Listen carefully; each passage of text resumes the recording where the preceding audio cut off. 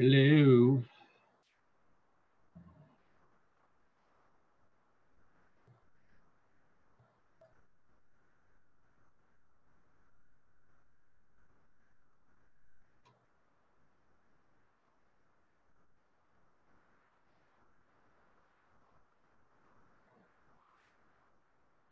Hey, Mark.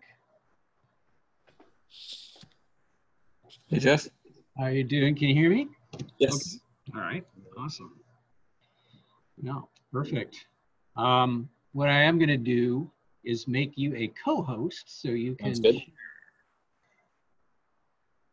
And uh, there you go. And I will be. Um, I'll I'll admit everyone out of the from the waiting room. So I'll take care of all of those uh, little administrative details so you don't have to deal with it. Sounds good. So people will start piling in. We've we've got um, 60 registrants at the moment, and so typically we get Awesome. a pile on of maybe 10 more right before the talk. So, you know, you may have a nice little crowd there. Um, Sounds great.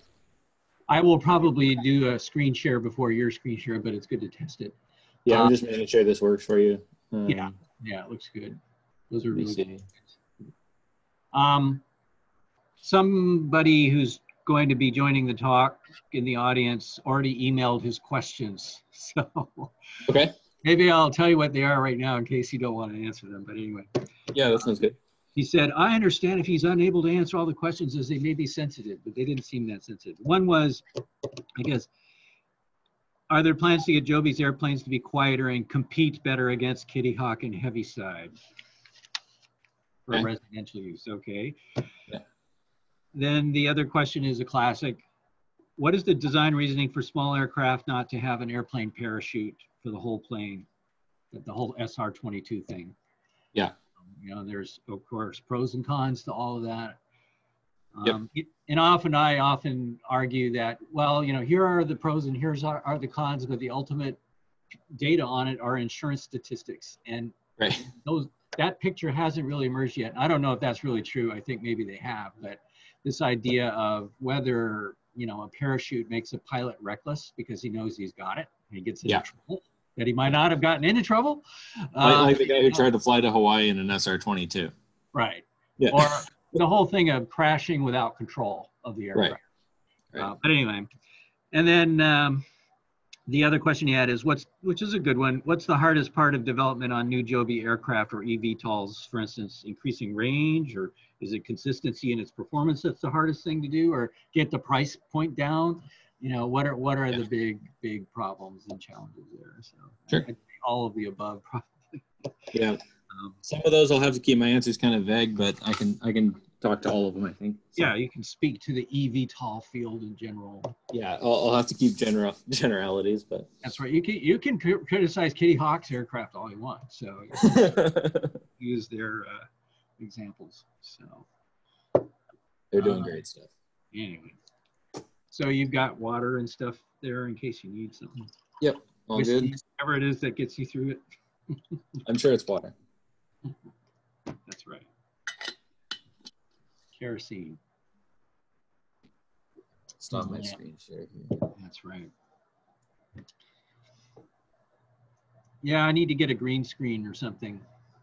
Um, Yeah, Zoom can do it without a green screen, but it um, it takes a lot of computing power to do it. yeah, it, it usually says that my computer is not compatible for that or something. So Yeah, yeah. Luckily, I have my brand spanking new work computer, so I can handle it all right. So yeah, like if I put on this background, it's Oh, interesting. It whoa. goes into the. Uh, maybe I'll put that on there because it is kind of. It's like Yeah. yeah, I'm over here at the Golden Gate Bridge. And then That's this one cool. here, this one is causing uh, some edge detection problems. Yeah, yeah. Or whatever the issue is. Um, here's a little uh, that, that one there, but this is one everyone's got, right? Yeah. This is one of the default ones. So That's I- interesting that it chooses just your window to do. Like, Yeah. thinks that's the most, you know, pixel to pixel, same value. I don't know what it's looking at, but yeah, that's interesting. Yeah, I figured Hiller would be a good good background to have for this. yeah. So I'm just, uh, I'm in my office and I just threw a uh, black tablecloth over all my file cabinets. So Nice. at least it, at least it has some presentability. Um, then over here against the wall is the flag of the mythical country Costaguana. If you've ever read the book Nostromo by Joseph Conrad, so I haven't yet. that was the mythical country that had the silver mine in the book, and so Oh, that's awesome. not only do I have the flag, see the, uh, I have a deed from the silver mine right next. Oh, that's awesome. that's fantastic. Very few people ask me about it, but so I'm forced to tell people about it, whether they want to know or not. That's very cool. I'll have to check out that book sometime. It is, it's pretty cool. I mean, I like this, the idea, the, the gist of the story is, is, um, a very trusted man in this mythical South American town in the late 19th century um, is entrusted with all the all the silver from the silver mine during a revolution to keep the the rebels from stealing it. Uh, he's told to sail it out to an island, and where they won't get get to it, and his boat sinks. Oh, jeez. Now everybody everybody figures, oh, poor Nostromo, you know, he did his best. He tried to, you know, he swam back to shore. But what he didn't tell everybody is that he actually was able to salvage most of the silver and he buried it on the island. But everyone thinks that it's sunk. That's So, fantastic. so now he has this fortune in silver in his possession. And he and his challenge is I have to grow rich slowly. Does not erase suspicion. Yes, so that's a that's a pretty clever premise for a story. Yeah, that's a great book. I think people have tried to turn it into, well, there was a BBC miniseries on, on it once in the nineties, but people have tried to turn it into a film and it's, uh, it's hard. Yeah, that never works out quite as well as when, the book's that. And it, and it was written in like nineteen ten or something, and it, it was way ahead of its time. It has all of the, it's like an HBO Westworld episode. It goes into the future and then it goes into the past. It's non-linear, like, like Pulp Fiction. oh, very cool. It's in nineteen ten though, is when it was written, so. That's really So cool. it's Way ahead of its time. hard to uh, hard to capture that. So most people just pull the plot out of it and don't try to recreate the narrative of the book because Sure.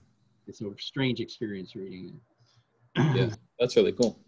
I'll have to check that out. I've just been trying to get through my library of uh, airplane books recently. So, but That's, That's right. an haven't task, been so able I- to throw fiction in there uh, at this point, but yeah, I, I need to throw a couple fiction in. that's right. So that'll be good. Oh, good. So, do you have any colleagues, friends, or your significant other tuning in too? Uh, yeah, yeah. My my girlfriend's right here, and then um, I think my parents are probably. My parents said that they wanted to listen in, so they they might t- tune in as well. I'm going to try to remember to press the record button so that we can record it to the Zoom cloud, if you don't mind. yeah, no, please do. because there are usually a few people who um there she goes girlfriend's here to say coming out of the third fourth dimension there. yeah. Yeah i always you know we i we don't try to advertise that we're recording it because we discovered that when we did that nobody showed up for the talk. Yeah, they always decide to watch it later. Yeah, so you know you got to show up. It's a once in a lifetime experience. If you have uh, Jake's recorded, I, I had to miss that one, and I'd love i to do i to think. check it out. so um, I'll, I'll send you an email. I'll write that down here so. Yeah, that'd be great. um, I had him send me his uh, presentation to check it out, but um, it didn't have much information on it. So Yeah, just, no, just some really had- good pictures. He just had a couple of slides of C5s. Yeah. so, um,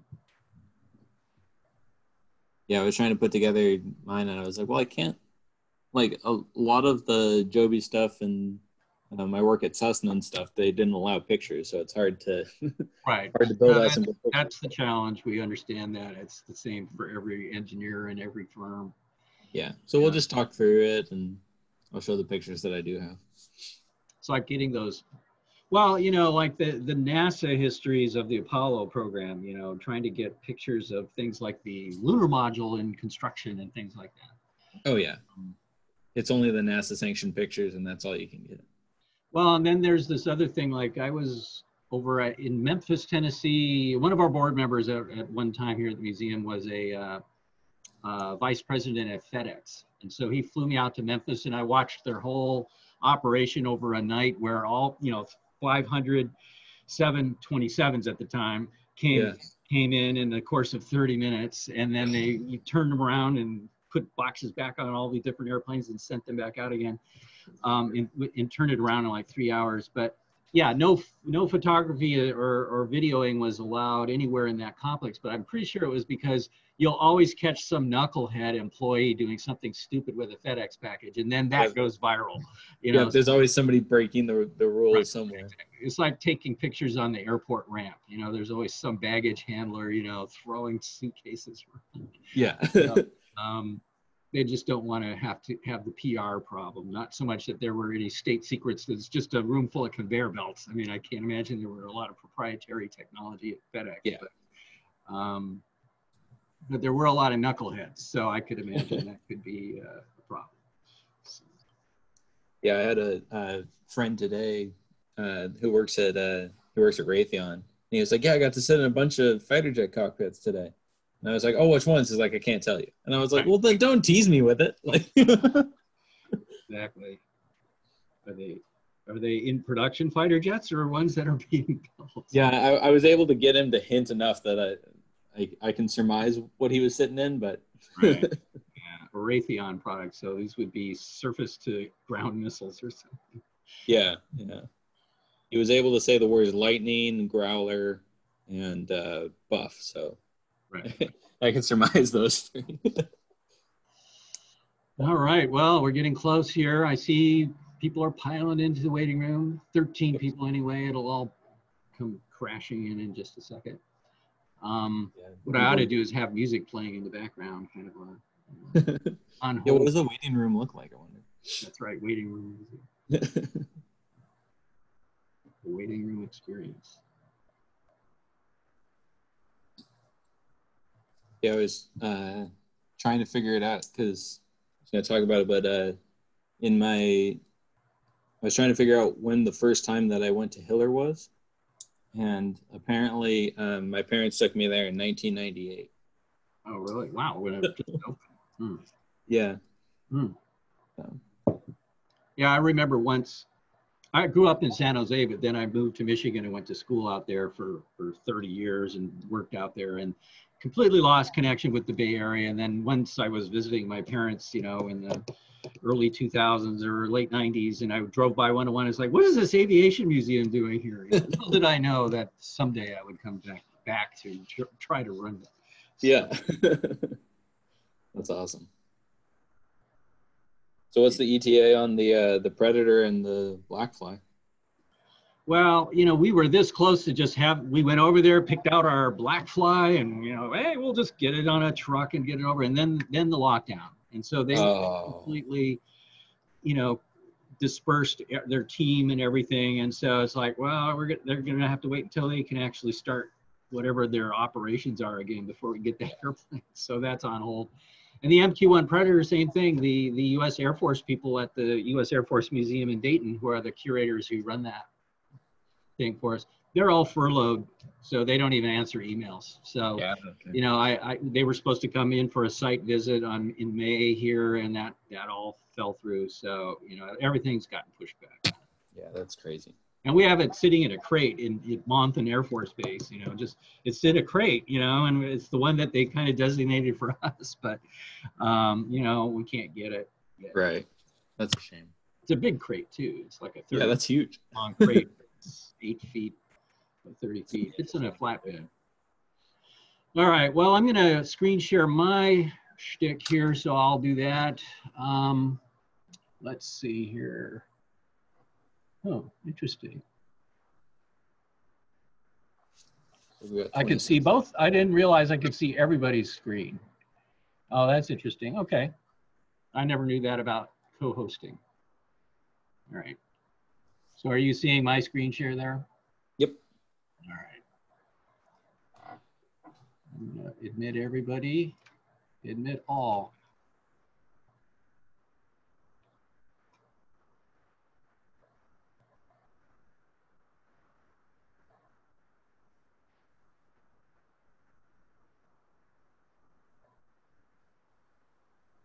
And good evening, everybody. We're just gathering into the virtual auditorium here, and we're going to get rolling here in just a minute.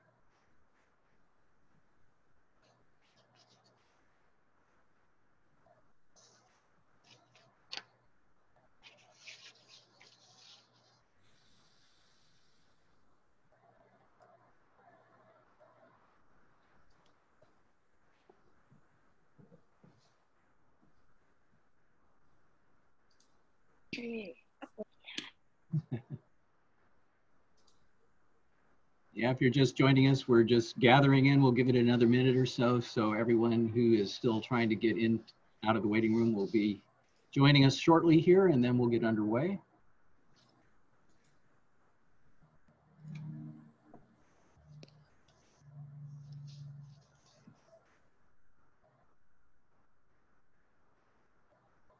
I'm sorry I don't have some nice waiting room music for you to listen to while we're awaiting.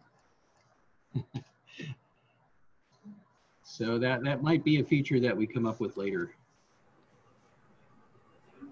Elevator music.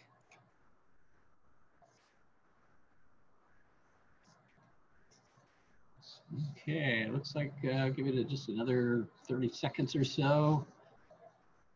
Always takes a few minutes to get on. If Zoom is having a good night, which hopefully they are.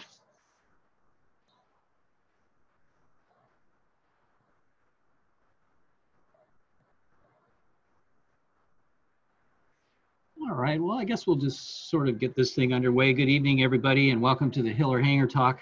My name is Jeffrey Bass, and I'm going to be your host for tonight's uh, topic, which is designing airplanes from a lifetime obsession to a livelihood with Mark Van Bergen. Before we begin, though, I've got a couple of little announcements to make. Uh, we do have a, a Zoom etiquette that's going on during the talk. We've muted everybody uh, so that we don't have any background noises and feedback or anything going on. There are a lot of us in the room here, and uh, Mark will be able to give his talk. Uh, we will have time, though, after we're finished at, in about 30 minutes or so for questions and answers. So keep those in the back of your mind and use the chat feature to type in your question when you think of it, and then we'll be able to get to it when we do the questions and answers. And uh, Mark, you know, we'll be able to keep tabs on those uh, chat uh, questions as well. Now you can keep up to date with everything going on at the Hiller Aviation Museum, such as it is right now at www.hiller.org. We are closed uh, during the lockdown, but we do have a lot of programming that we're still presenting to folks. If you go onto our website, we have a page called Hiller at Home where we've got information about these Hiller talks that we have uh, coming up, as well as other things uh, that you can do downloading uh, special activities and you can watch videos and you can, we've got NASA simulators and other things that you can uh, download and explore all on our uh, Hiller at Home page. We have our series of Hiller Hangar Talks and coming up next week will be on Tuesday, May 26th at 7 p.m. in the evening, we will be welcoming Michelle Tripp, who's an airfield safety officer at SFO, not an airport safety officer. Her responsibilities are on the field uh, where the airplanes are. And that's an interesting perspective that she's going to bring about uh, her career working at a busy airport. So that'll be next Tuesday with Michelle Tripp. And we're really looking forward to as well.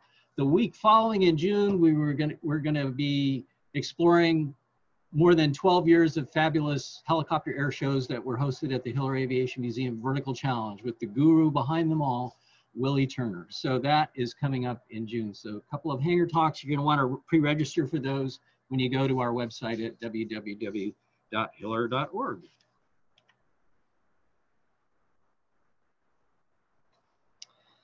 Okay, so that brings us to the best part of the night, and we have an intriguing story of a lifetime obsession designing airplanes. So let's welcome Mark Van Bergen. Take it away. Thanks, Jeff.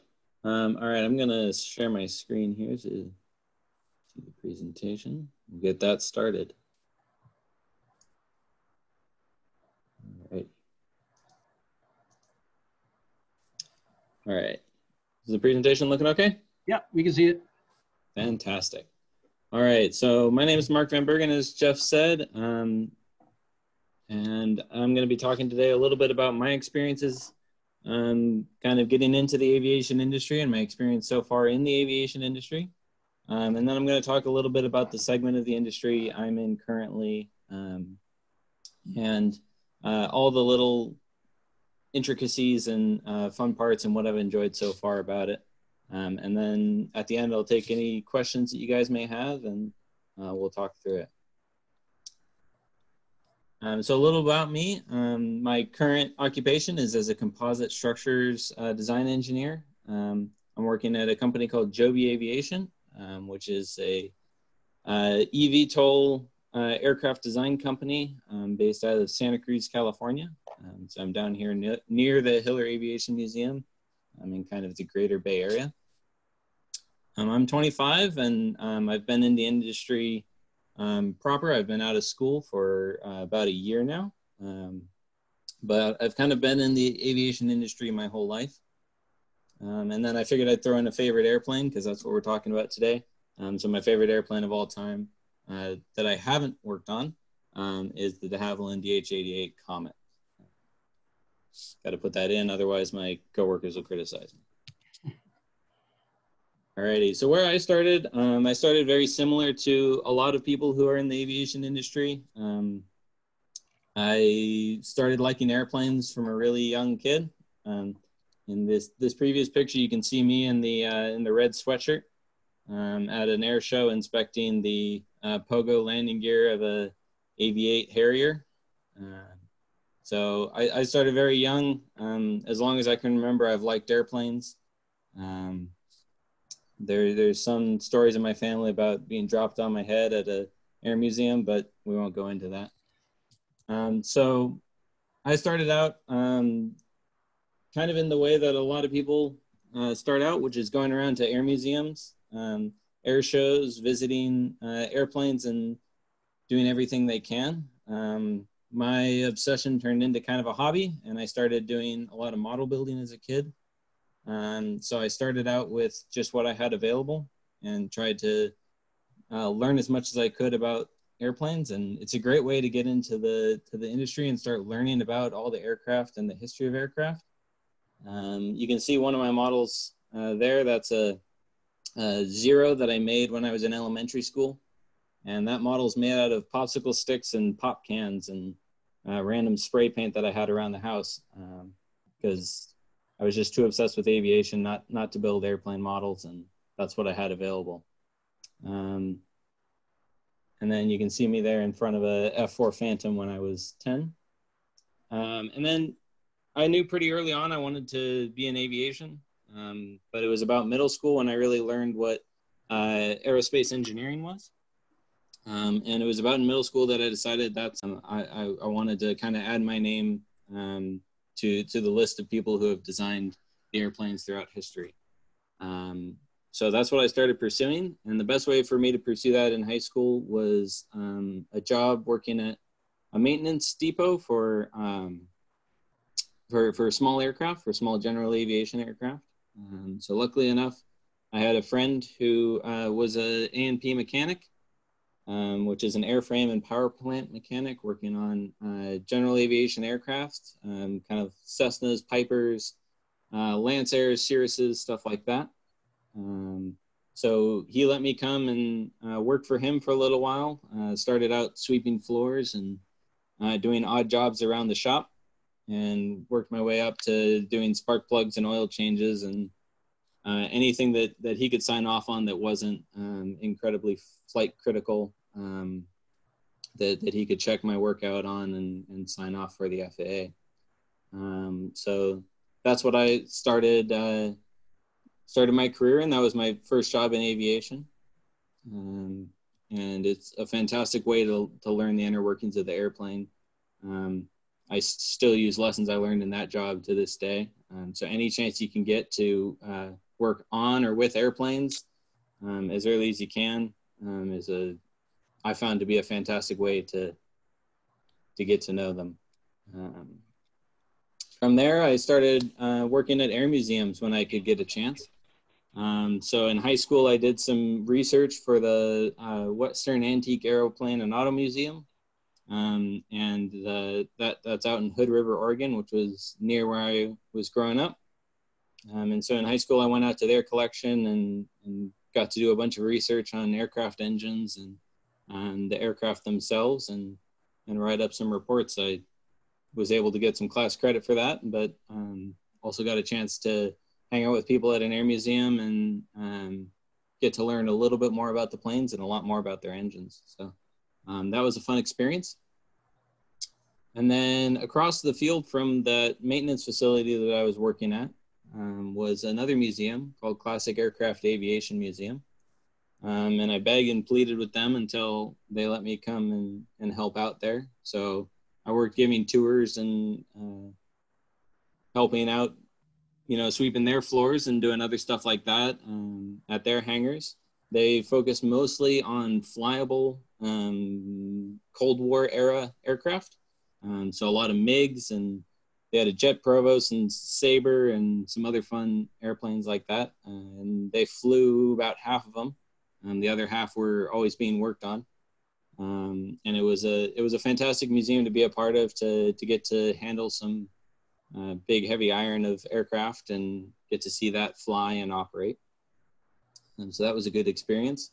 And then while I was going through my master's program, um, I worked at the Hiller Aviation Museum um, on the weekends. And uh, obviously, I can't speak highly enough about the Hiller Aviation Museum. Um, Where did you go to school, Mark?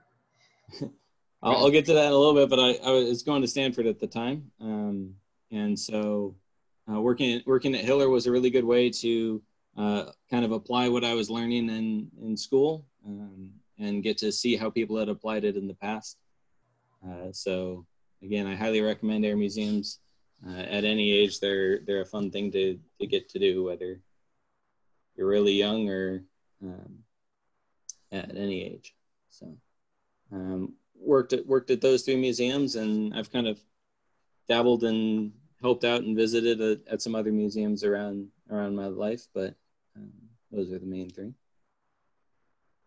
And then for for my academics, um, I went to Embry-Riddle Aeronautical University um, for my undergrad um, to get my bachelor's of science in aerospace engineering. Um, I focused. Uh, Embry-Riddle has a cool uh, balance where they can you can either focus in aeronautical engineering, which is the designing of aircraft, um, or you can focus on air, on uh, astronautical engineering, where you can focus on designing uh, rockets and spacecraft. Um, so I tended more towards the the aircraft side of it, um, and it, it's a fantastic school. I went to the campus that's down in Prescott, Arizona. Um, went there for four years. Uh, they specialize in uh, aviation and all aviation related fields. Um, so they don't have uh, your normal college degrees, um, but they have they specialize in aerospace engineering. They specialize in uh, aviation business. You can get your pilot certificate and uh, flight ratings from them if you want to go off and be a uh, an airline captain um, and all sorts of fun stuff. Uh, so I, I, went the aeronautical engineering route because that's what I had always wanted to do. Um, at that school, there was a lot of a lot of side projects that I could get into um, and get some good hands-on experience with.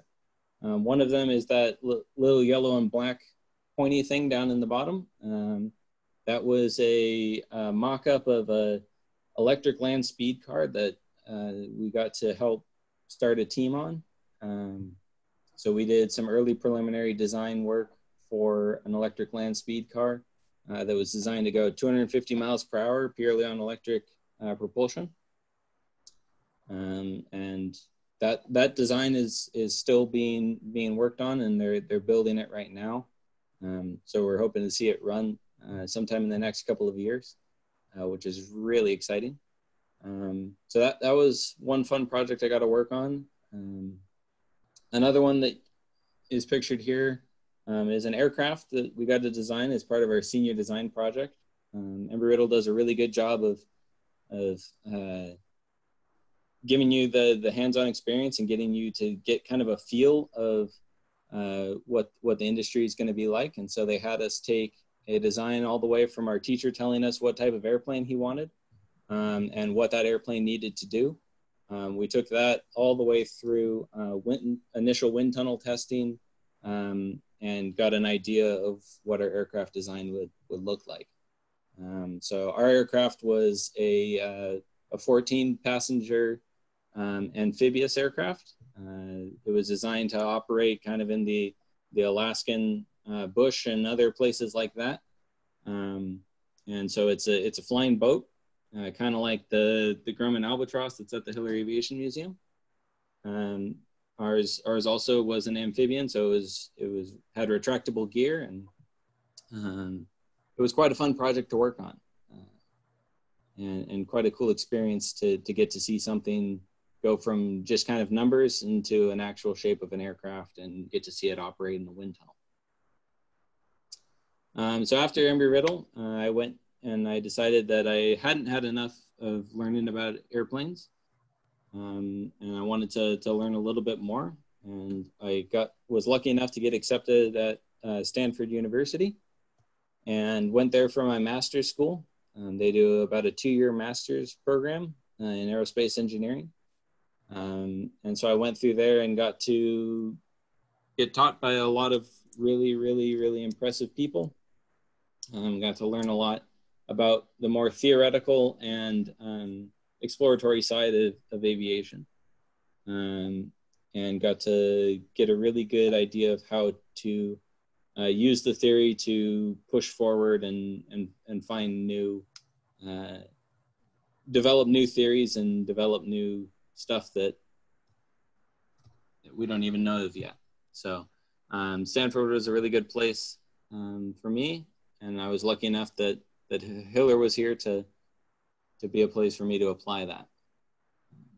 The project that you see down in the corner um, was a, a, project I worked on uh, at Stanford, which was a subscale test of kind of an eVTOL um, urban mobility design. Uh, so that's a quadcopter that we've we've strapped some lightweight wings to, um, and we wanted to get kind of a, a proxy stand-in for um, an eVTOL aircraft, which I'll talk about a little bit more later. Um, but the idea is to to get something that can take off and land vertically, uh, kind of like a helicopter, but when under flying, it's a lot more efficient um, as it uses its wings um, or some other other uh, surfaces.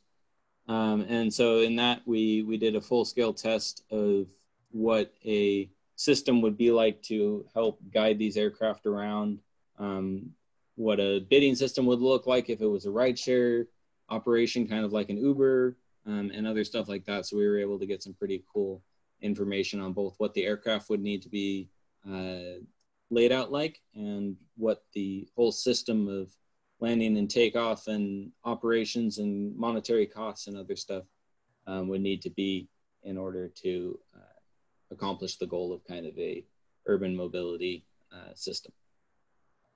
Um, so those those were some fun projects um, that I did during my academics. Um, after that, I went out into the, the aviation industry. Um, I worked at Cessna part time as a uh, intern, and before that, I worked at uh, Volta Volare um, as an intern for a little while. Uh, Volta Volare was a uh, electric aircraft company. They were working on a hybrid aircraft, which you can see there, uh, the Volta Volare GT4. Um, so it was a it was a Velocity airframe that they had developed their own power plant for, um, and it was started out as a hybrid electric, and they were planning. We were working on a uh, fully hybrid powertrain, um, so using only batteries and an electric motor to uh, propel the aircraft. Um, so I worked there for. I did an internship there for a summer, um, which was very informative um, and an interesting uh, view of kind of a very small company. There was about ten of us total at that company. So, so that was a fascinating experience. Then I did an internship at, at Cessna um, down in Wichita, Kansas. Um, so Cessna is obviously one of the big names in aviation, uh, been around since the, the 20s.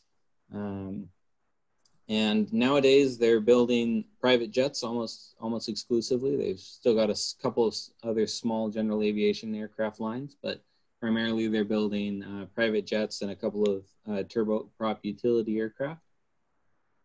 When I was there, I worked in their tooling department, um, which was a fantastic experience to get to see what the uh, manufacturing side of the, the aviation design uh, problem looks like. So I worked on tooling for this aircraft that you see here, um, which is the Cessna Citation Longitude, um, which was at the time their largest uh, private jet that they had built. Um, now the Latitude, I believe, um, has taken that crown. Um, but the the tooling side of things, Cessna is really unique in that they're one of the few companies that does almost all of their tooling design and, and construction in house. Um, so they have uh, kind of a rare opportunity there to get to uh, fee- get a feel for what that manufacturing effort looks like. Because it's one thing to design an airplane and get the shape, um, but it's a whole nother thing to build a production line that builds a hundred of these a year. Um, and so, so that's what we were looking at, um, and that was a fantastic experience there at Cessna and then after after my internships, um, I came out to Santa Cruz um, after my master's program, and and uh, was lucky enough to be hired at Joby Aviation um, down here. Um, Joby Aviation is designing and building that aircraft that you see in that picture, um, which is an eVTOL uh, aircraft. Here's a little bit more about Joby and another picture of their aircraft, our aircraft. Um, so that's a electric vertical takeoff and landing aircraft designed to kind of be what we call an air taxi. Um, so it's meant to kind of uh, replace or uh, um, yeah, it's supposed to kind of replace uh, cars um, or augment them. Uh, but the the idea is that's a, a four person or four passenger aircraft um, that is fully electric, um, takes off uh, vertically from pretty much anywhere that'll fit its size, and then um, from there it can transition to uh, a more efficient forward flight and fly longer distances than a helicopter could at faster speeds. Um, so we can make a uh, kind of air taxi system feasible.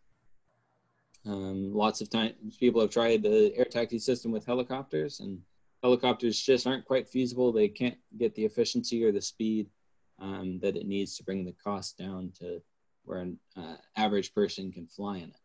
And on that other picture, you'll see the our entire company at Joby. Um, that's everybody standing in front of our aircraft. So it's still a small company, been around for about seven years, um, and we're we're growing larger as we design the aircraft. Um, so a little bit more about the, the eVTOL and the urban mobility market um, that we're currently exploring. Um, so here, here's a, there's about a 150 to 200 different companies that have claimed that they're a part of this urban mobility market, um, including Airbus, uh, which you'll see kind of in the upper right, uh, Lilium in the lower right, uh, Bell Helicopter kind of in the center, uh, Opener with their Black Blackfly aircraft down in the lower left, and then Kitty Hawk, or I believe they're called Wisk now, um, with that, that yellow aircraft there. So um, it's a, a fascinating problem to try to solve, um, to try to get an aircraft. Almost all of these are, actually all of these are fully electric.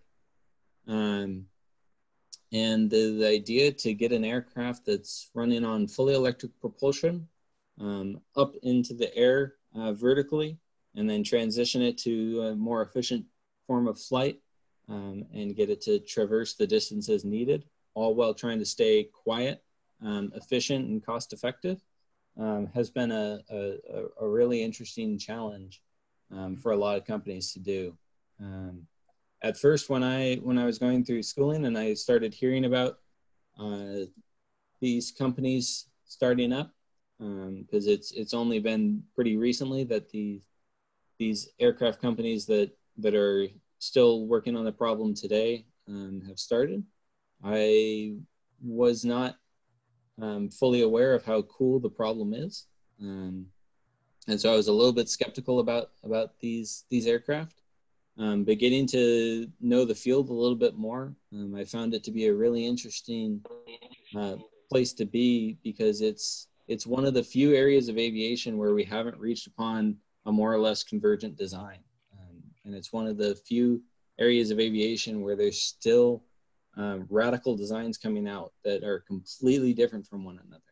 Um, in a lot of other aspects of aviation, like airliners and fighter jets and um, general aviation aircraft, uh, the designs have more or less converged on a on one or two um, kind of basic shapes, um, and it's it's variations on a theme um, because those shapes are just the most efficient and the most effective, and um, and and we've kind of settled on those. But um, in the the eVTOL and the urban mobility market, um, it's still up for grabs on what is the most efficient shape. There's a lot of different schools of thought coming out and a lot of different solutions that other companies didn't think of. Um, and it's been a really interesting space to get to explore and get to design in because it's is very unique and every single person has a different solution um, to each individual problem uh, because all of these aircraft are trying to do stuff that only a handful of aircraft in the past have been able to do um, rather than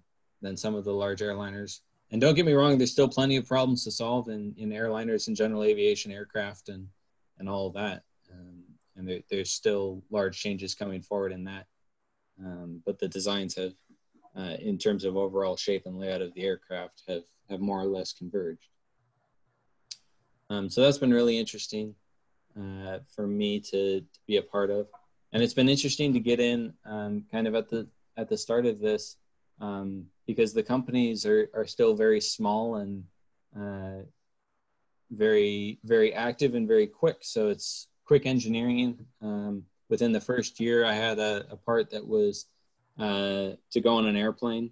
Um, and uh, I, have gotten some some amazingly fun experiences uh, in the design world to try to design these aircraft as quick as we need them to to be uh, sent out and prototyped. And there's a lot of iteration and prototyping going on uh, to try to get these aircraft uh, out as quickly as we can to to beat the competition.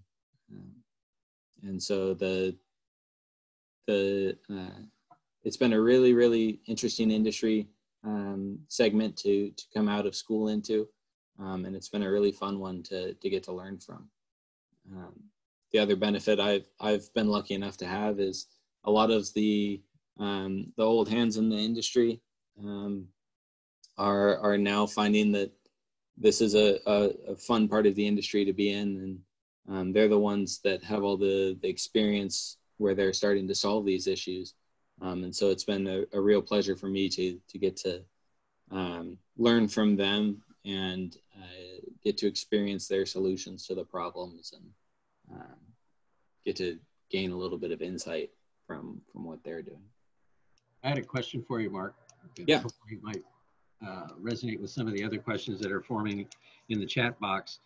Um, is it the case with these EVOL VTOL aircraft in the urban air mobility use that they pretty much have to pick a range that they're going to operate in. It, it's not going to be a one size fits all. Oh, I can hop from building building, or I could fly for 40 miles. It, are they going to be that specialized that they really are good for only, you know, let's say three and four mile hops versus other aircraft in the same space, but different models and designs that might be better for, for longer distances? Or are they going to be try to be made as versatile as possible? So it's interesting. There's, there's um, a lot of different schools of thought on that with um, for for instance just on the aircraft that i have on this slide um, the opener black fly down in kind of the lower left corner. Um, it's a single person aircraft. Um, it's designed as an ultralight. So it's designed as more of a personal vehicle um, kind of to replace a car or a motorcycle. Um, and so it, it's designed with pretty short range um, but it's designed for a single person and and it's designed kind of as a, a replacement for for something fun to go around in. Um, and the the Cora aircraft, which is the, the yellow one here, um, it's designed as a two person vehicle, um, whereas the Airbus one is designed as a lot more than that. Um, so not only is there variation in terms of what ranges you're looking at, um, which is a huge thing, um, but also how many passengers you're going to carry um, and what you're trying to do, whether you're trying to be kind of uh, the replacement for buses or whether you're trying to be a replacement for a sports car or motorcycle. Uh, but yeah, you're right. There, there is a lot of um, specialization um, within that. So there's there's aircraft that are focusing just on operating within one city limit. Um, so flying inside San Francisco, um, and then there's aircraft that are looking at flying maybe from San Francisco to Oakland or San Francisco to Santa Cruz. Um, and then there's aircraft that are looking at flying from San Francisco to LA um, and doing longer hops like that. So no one aircraft is going to be our a full solution for um, for all the mobility needs, right? It's going to be kind of a, a mix of a bunch of different companies' aircraft. Um, is is how it's looking now because the design constraints are are so large um, that you can really only design an aircraft for a specific purpose. Um, that being said, some of the some of the designs are are designed to be a little bit more versatile and a little bit um, uh, larger of an envelope, um, but there's drawbacks to that as well. Nancy Rose had a question that was also on my mind, which is, you know, when are we going to start to see these aircraft? Um, obviously, there's issues with the infrastructure for controlling them and FAA certification and air traffic and all of that. What are your thoughts about the time frame when we're going to start seeing, you know, the first companies rolling these out? Yeah, so um, a lot of the the prototypes are are starting to fly um, now. We've got um, I think there's at least six different companies that have uh, documented flyable prototypes. Um, there's some some are already doing demos. Um, there's one or two that are able uh, that are uh, flying humans at this point. Um, I don't think anybody has yet taken a passenger, as far as I know. Um, but it's it's it's really soon that we're going to start seeing this. Um, some people have speculated that within around the next five years, um, we're going to start seeing uh, early ride options available. Um, they're probably not going to be super cheap. Um, they're probably not going to be super uh, uh, available. They're not going to be at every city in, in the world, um, but there there will be kind of test operations up and running um, sometime within the next five years. I would say is is what a lot of people.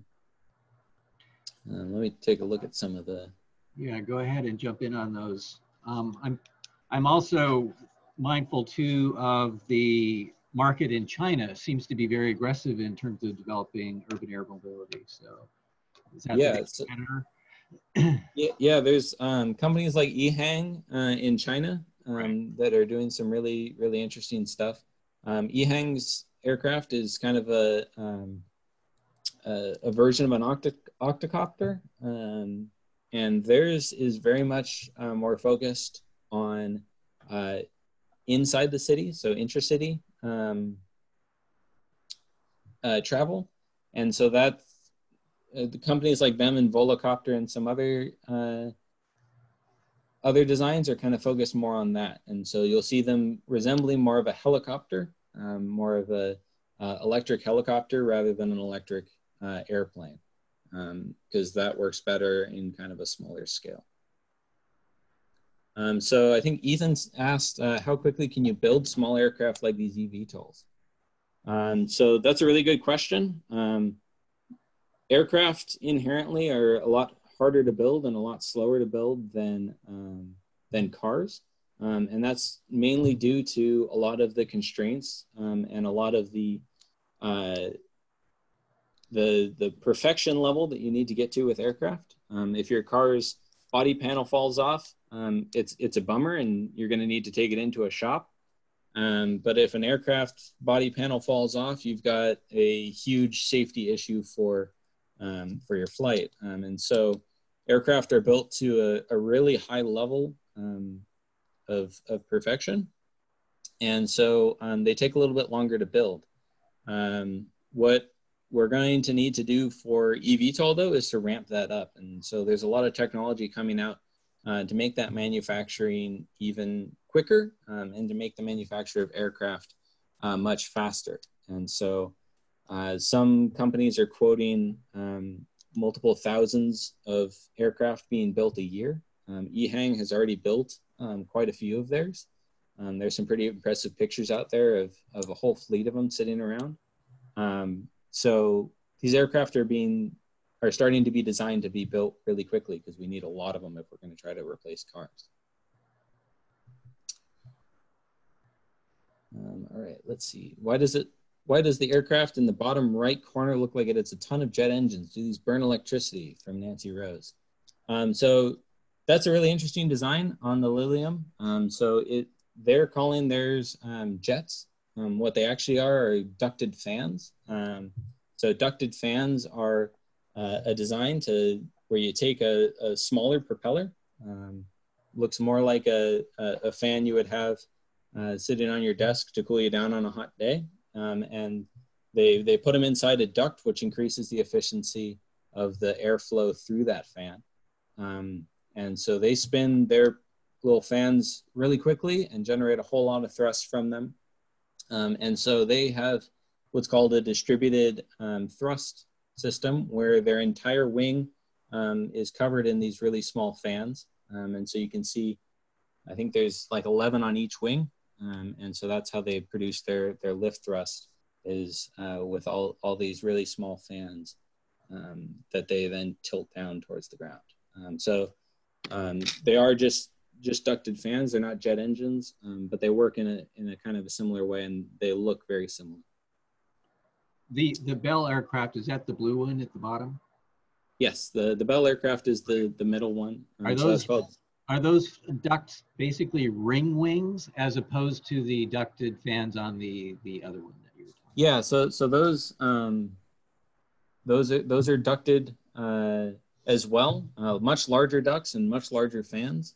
Um, so there's some benefits in terms of acoustics, um, which so the sound level that the propellers are producing, which is one of the big constraints on these, um, because people don't want a helicopter landing, you know, in their backyard um, to drop them off or pick them up. Um, that would drive pretty much everybody crazy if we replaced every car with a helicopter. Um, so we're trying to make these as quiet as possible. And so one of the things like Bell is doing there um, is ducting around the fans. Um, there's also a lot of design going into the propeller blades. Um, so you can see on the uh, Kitty Hawk aircraft, the yellow one, um, all those little fan blades that are strapped under the wing. Um, they they don't look like any other propeller you've probably ever seen, and that's because they're designed uh, with acoustics in mind, trying to keep them as quiet as possible. Um, so that's a little bit about why the why the bell is shaped that way. Um, the bell also has uh, wings, uh, but it does, we believe, generate some lift from from that ducted fan as well. Um, alrighty, there's a question here are, are there plans to get Joby's airplanes to be quieter and compete better against Kitty Hawk and Heaviside, um, which is 100 times quieter than a regular helicopter? Uh, this may help for closer residential use. So yeah, just like I was talking about, um, we're trying to keep them as quiet as possible. Um, so we're all striving to be quieter than the next person. Um, and I can't talk to specifics about, about the Joby design, um, but I can tell you that it's amazingly quiet. Um, and it's it's a it's a really really really cool uh, a lot of really cool solutions that have been put into designing the acoustic side of it. Um, so what is the design reasoning for a small aircraft to not have an airplane parachute um, for the whole plane available to automatically open when a plane stalls and goes into a nosedive? Um, all right, so yeah, airplane parachutes or uh, ballistic uh, recovery chutes or BRSs. Um, are a really cool addition that's come out um, pretty recently in terms of aviation. Um, and the idea, um, for those of you who aren't familiar, is when an airplane goes out of control, you have this uh, option where you can push a button and a little rocket shoots a, uh, a parachute out of your aircraft, um, and that that parachute uh, is large enough to carry the whole aircraft down to the ground safely. Um, and so the idea is if you run out of fuel, your engine dies, um, or if you get into kind of a, a, place where you can no longer control the aircraft, you can use this chute to, to bring you back down to the ground safely. Um, they're a great option that's being applied on a bunch of general aviation aircraft. Um, and I know a lot of the, the eVTOL aircraft are also looking at using them as an option. Um, there's been some issues with them, and there's some reasons that people wouldn't put them on their own aircraft. Um, one of them is is it adds weight, it adds uh, stuff inside of your airplane, um, and it, they are expensive. Um, so those are kind of the, the three general reasons for for everything on an aircraft airplane. Um, what you can fit in your airplane, what you can carry in your airplane, and how much your airplane is going to cost. Um, and then the the other problem with them is um, when when when you have a, a backup system, um, you're never quite as uh, careful about your primary system, um, and so there's there's been issues where where pilots have used their backup system uh, a little bit too much as a primary system and uh, and have relied on it too much and not focused on on flying themselves. Um, now, in, in, my personal opinion, I think they're they're a great thing uh, to put on an aircraft, um, and I think they they do save quite a few lives um, in the, the eventuality that uh, that you need them, that an airplane goes out of control or uh, has some sort of failure. Uh, and then there's another question: What's the hardest part of development on a new Joby aircraft or EV eVTOLs in general? Um, for example, increasing range, SF to LA, um, or the plane at a reasonable price point? Yeah, so um, one of the hardest things we found in developing is working around the, the electric platform. The electric platform gets you a whole lot of really beneficial stuff, and it's what makes um, eVTOL really possible, and what makes uh, small scale VTOL possible, um, which is vertical takeoff and landing. Um, it allows you to have an amazing amount of control um, you can control each propeller individually. Um, it's what allows an aircraft like Lilium to have 11 propellers per wing, um, which is just an amazing amount. But it also has a lot of issues. Um, we're not anywhere near as energy dense as gasoline.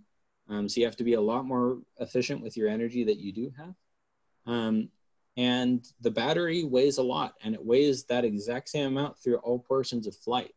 Um, one of the, the interesting things with electric aircraft versus uh, combustion aircraft, combustion engine aircraft, in a combustion engine, you're burning off your fuel weight throughout your entire flight. So your airplane is only getting more efficient as it flies. Um, whereas with an electric aircraft, um, those electrons that you're burning um, don't weigh hardly anything. So um, the weight of your aircraft at the start of the flight and the weight of the aircraft at the end of the flight um, should be almost exactly the same. And so you, your aircraft doesn't get more efficient as it flies, so you need to try to keep it as efficient as possible throughout the entire flight. Um, and so that's one of the uh, the issues that that has been most prevalent um, with with the battery technology. And since that battery technology is so much heavier than gasoline, we have to do a whole lot of other stuff with the aircraft to try to get the rest of it as light as possible. Um, to to balance out for that battery weight. All right, um, let's see other.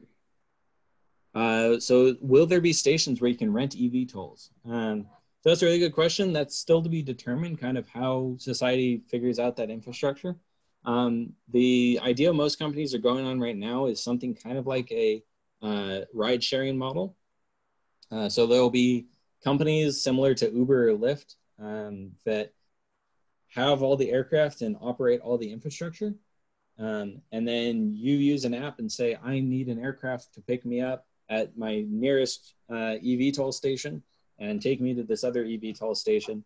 Um, and then there will be an aircraft there waiting for you. You hop in and we take you to the next area, um, wherever you need to go. Um, and so that's kind of the model that people are looking at right now. Um, that's kind of the most prevalent one. It won't be necessarily a personally operated vehicle. Um, you're probably not going to have one of these in the garage um, just because all those engineering things that we're doing, um, they're expensive. and so these are going to be really expensive aircraft, and so it's prohibitively expensive for most people to own one. And so, other than something like Blackfly, um, where that, that's a more personal vehicle, most of these are going to be operated by, by a company. Well, we're reaching the end of our talk, and I, I think you were able to catch uh, a lot of the questions there. So thanks for uh, doing that, Mark. Um, what's your favorite part of this whole design process of eVTOLs? What's what's the coolest thing for you? Oh, uh, the coolest thing um, has been seeing the, the the parts that I design and, and come up with on a on a computer, um, and you know start out as numbers uh, to see them actually get manufactured, um, put through that whole manufacturing process I was talking about, and end up as actual parts that are ready to go on an aircraft is just a really really amazing thing to see, um, and to to see that aircraft actually go out and operate um, is just quite quite a treat um, when when you know you've had a part on it, even no matter how small of a part it may be. Um, it's it's really really amazing to to see something go out and operate with your part on. Well, that sounds really cool. We're looking forward to seeing that Joby aircraft. One thing that I think I really like about the Joby aircraft is it looks pretty. I mean, it's a it's a good looking aircraft. Some of these sort of hexacopters look a little like they just don't look elegant, you know, or they but the Joby aircraft looks really nice. It's a it's a pretty airplane. Every home. Yeah, we're we're quite proud of it, and uh, we we're trying to make it as beautiful as possible. So. Excellent. Well, I'd like to thank Mark Van Bergen for his talk tonight. And if you want to show your appreciation, you can uh, scroll down to the bottom of your Zoom window where it says reactions, and you can give him a rousing round of applause as I just did or a thumbs up. So thank you, Mark Van Bergen. We really appreciate that you came and joined us tonight to share your experience with your obsession designing airplanes. Thank you, Jeff, and thank you everybody for tuning in. Thank you, everybody. And we're going to be meeting here again next week to meet with Michelle Tripp. Every takeoff and touchdown starts at an airport, and that'll be on Tuesday, uh, a week or so from now at 7 o'clock. So until then, stay safe, everybody, and we'll look forward to seeing you at the next Hiller Hangar Talk. Good night, everybody.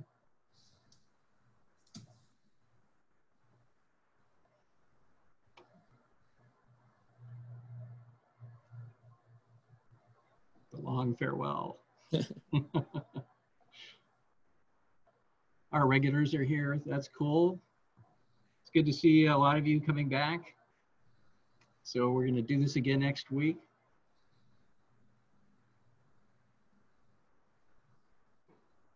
Hey, Roger. Good to see you. Thank you. My pleasure. Always a pleasure. Thanks. Steve, thanks. Lynn, everybody. I always hate pulling the plug at the end, so I'll, I'll let everybody in a uh, more elegant exit. All right, well, thank you, Mark. So I'll, uh, we'll be in touch. I'll send you the uh, recording. Sounds good. Thanks, Jeff. Great. Well done, sir. Thank you.